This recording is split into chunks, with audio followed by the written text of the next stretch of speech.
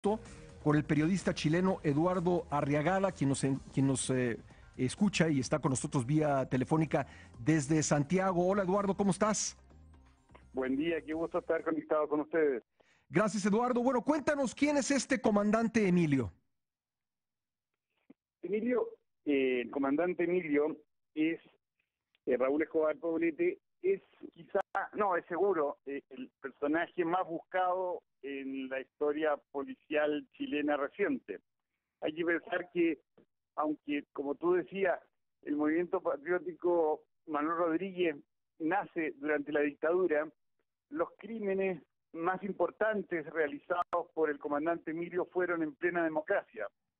Él, él estuvo, está relacionado directamente con eh, asesinatos de militares durante la democracia, pero más importante, el secuestro del hijo del dueño del diario El Mercurio, Cristian Edwards, que estuvo más de 40 días secuestrado, también estuvo, es el, eh, se estima es el autor material de los disparos contra el senador Jaime Guzmán, un senador que había sido electo en la democracia y que fue asesinado al salir de su trabajo en, mi facultad, en la universidad, en la Universidad Católica, saliendo del edificio de la universidad, fue asesinado.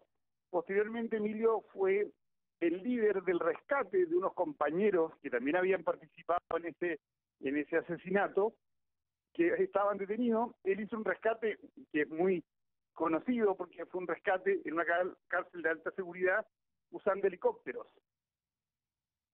Eh, Emilio posteriormente fue visto en Brasil, ligado con los mismos que habían, se habían escapado en el secuestro de un publicista Oliveto, muy conocido en Brasil, por el cual están condenados sus compañeros, uno de sus compañeros, comandante Ramiro. Él siempre estuvo ligado a las armas. En la época brasileña, que fue hace, hace unos 15 años atrás, trabajaba para la FARC. aparentemente, por lo que estamos viendo ahora, se había vuelto a eh, introducir en otro movimiento eh, armado eh, y siempre su vida ha estado ligado a este tema de, los, de los secuestros y, y rescates violentos. Eduardo, ¿sorprende en Chile que este hombre haya aparecido en México? No, muchísimo. Yo, te diría que esta es la una de las estamos en medio de una, una campaña electoral, entonces quizás no es la noticia más importante, pero es una noticia que ha estado en toda la prensa, muy sorprendido porque este era un personaje que la, policía chilena al menos no había nunca podido atrapar, a diferencia de sus compañeros. De hecho, hay videos de él cuando, cuando la policía detuvo a los compañeros de él en una playa, pues, antes de atraparlo, tomaron unos videos donde aparecía el comandante Emilio. Y el día que eh, lo, lo fueron a apresar, por alguna razón especial el comandante se le fugó. Entonces, era un personaje mítico, así. Incluso hay muchos periodistas que dicen que al comandante Emilio se le han asignado más cosas de las que realmente hizo, porque es un personaje que está en casi todos los crímenes importantes del terrorista contra la democracia. Pues Eduardo Arriagada, muy interesantes los datos que nos aportas. Muchísimas gracias. Un fuerte abrazo desde México. Lo mismo para ustedes. Un abrazo. Gracias, gracias.